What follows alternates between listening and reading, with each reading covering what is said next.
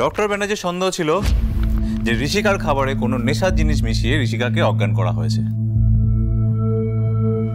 কিন্তু রিপোর্টে ক্লিয়ার লেখা আছে ঋষিকায় কোনো নেশার জিনিস নয়, একটা ক্লোরোফর্ম জাতীয় কোনো জিনিস দিয়ে অজ্ঞান করে দেয়।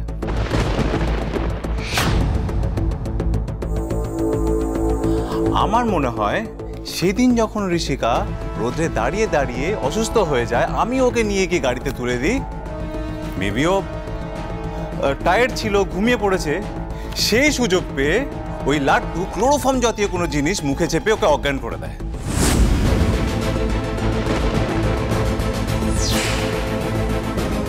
ঋষিকার এখানে কোনো দোষ নেই আঙ্কেল রোশন আমরা সবাই তো এটা আগেই জানতাম যে এই পুরো ঘটনাটা তুতে আর ওর ভাই মিলে করেছে।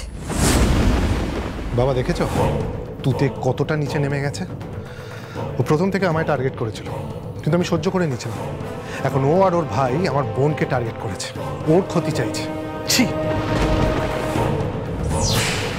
আচ্ছা যা হওয়ার সেটা তো হয়েই গেছে না বাবা? এখন তো আর বারবার সবাই মিলে এটা নিয়ে আলোচনা করে লাভ নেই। এখন ভাবতে হবে আমাদের আমাদের ফ্যামিলির সম্মানটা কি করে বাঁচানো যায়? বাইরে মিডিয়া দাঁড়িয়ে রয়েছে। দে ওয়ান্ট অ্যান আনসার কি বলব? কতক্ষণ আটকে রাখব? মিডিয়াকে আমি আনসার করব। সৌমিলি তুমি পুলিশে ফোন করো।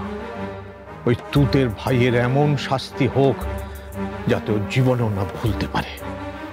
ওকে আমি কিছুতেই ছাড়বো না কিছুতেই না। ও কঠিন থেকে কঠিনতম শাস্তি পাবে তুমি দেখে নিও। আচ্ছা আমি একটা কথা বুঝতে পারছি না। এরকম একটা ক্রাইসিসের সিচুয়েশনে রঙ্গনের তো এখানে থাকা উচিত ছিল। কোথায়? সত্যি তো রঙ্গনকে তো দেখতে পাচ্ছি না। কোথায় গেল আবারও? সোম থেকে রবি সন্ধে সাতটায়। স্টার জলসায় ও ডিজনি প্লাস হটস্টারে।